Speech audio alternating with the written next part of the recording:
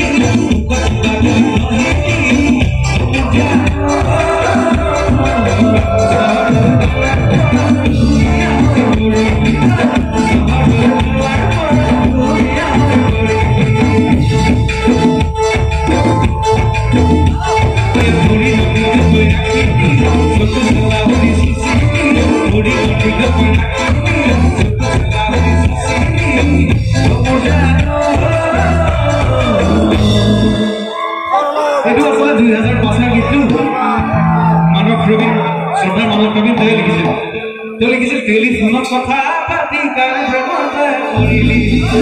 এতিয়া দুই হাজাৰ পাঁচ চনত টেলিফোন আছিল এতিয়াতো আমাৰ হাতে হাতে স্মাৰ্টফোন আহিল হয়নে এতিয়া মানুহে ফোনটোৱে নকৰিব নোখোজে মেছেজ কৰে। ছোৱালী সময়তো এনি টাইম ইনষ্টাগ্ৰামত থাকে হয়নে নহয়? ইনষ্টাগ্ৰামতে কথা পাতে ইনষ্টাগ্ৰামত ঐ ইনষ্টাগ্ৰামত কথা পাতি